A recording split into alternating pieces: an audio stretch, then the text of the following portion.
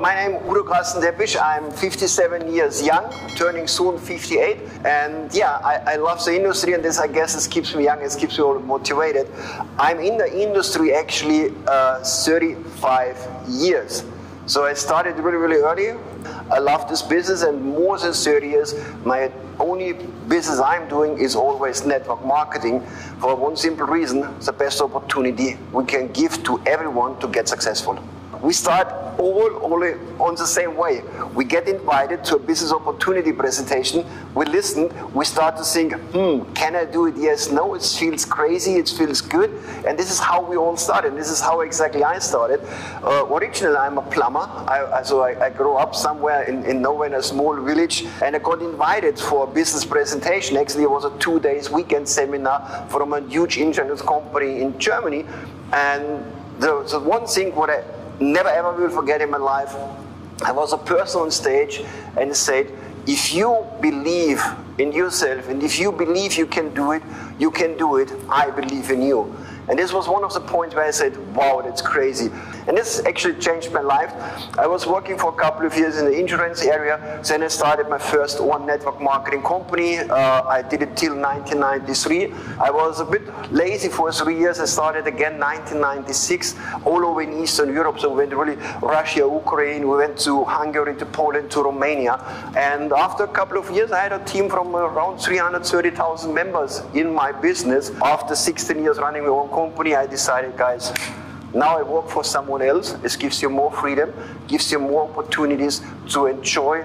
Really, this is what you like to do, and this is what I like to do. Is and my favorite things to do is helping people, support people to reach their dreams. So the reason I left is was simple. I, I love the business. I love to, to build network. I love to work with people. I love to be out with people. But in this time, I, I didn't see the, the, the, the company anymore behind.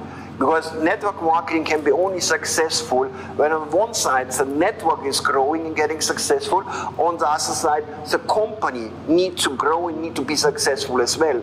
So this, this both are super equal partners and they need to grow together. So when I had some issues what I didn't see behind the scenes, you know, I'm a networker, I, you don't see all. A company never can tell you all details, all information. There are so many things going on, so many things in plan, which one takes maybe three months, six months, or even two or three years.